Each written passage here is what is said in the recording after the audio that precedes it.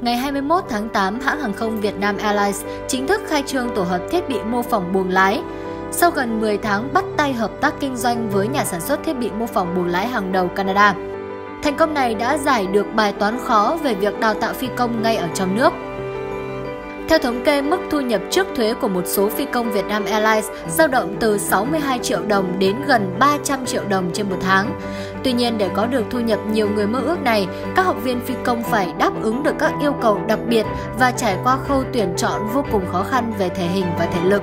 Thêm vào đó là khoản chi phí ước tính lên tới vài tỷ đồng để đào tạo một phi công đạt trình độ cơ bản. Sau đó, lứa phi công cơ bản sẽ phải tiếp tục đào tạo bay để trở thành một người dày dạn kinh nghiệm. Ngày 21 tháng 8, Vietnam Airlines đã đưa vào sử dụng tổ hợp 4 buồng lái mô phỏng hiện đại nhất thế giới. Mỗi buồng lái mô phỏng một loại máy bay riêng biệt được mua với giá từ 16 đến 18 triệu đô la Mỹ, giúp đào tạo và thi phi công chuyển loại. Đây là phần đào tạo chuyên ngành bắt buộc và cực kỳ quan trọng giúp phi công thành thạo các thao tác trong buồng lái trước khi bay thực tế.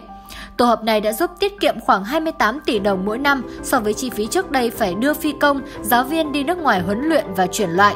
Lợi ích thực sự không nằm ở việc tiết kiệm chi phí hay thời gian mà ở chất lượng đào tạo.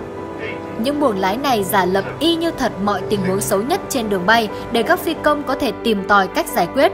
Tổ hợp buồng lái mô phỏng này không chỉ giúp Vietnam Airlines đào tạo hơn 1.100 phi công của hãng, mà đây còn là trung tâm đào tạo cho phi công của các hãng khác trong và ngoài nước.